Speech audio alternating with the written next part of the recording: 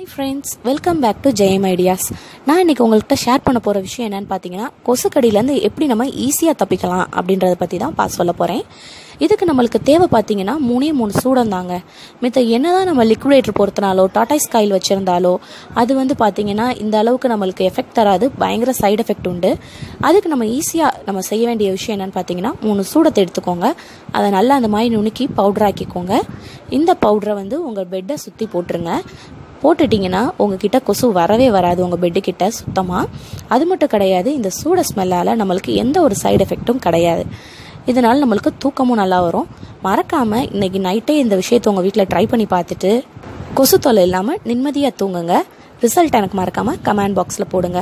அதுக்கு மொத இந்த சேனலை லைக் பண்ணுங்கள் ஷேர் பண்ணுங்கள் சப்ஸ்கிரைப் பண்ணுங்கள் மறக்காமல் பெல் ஐக்கானை கிளிக் பண்ணுங்கள் மீண்டும் ஒரு நல்ல பதிவோடு நான் உங்களை சந்திக்கிறேன். நன்றி.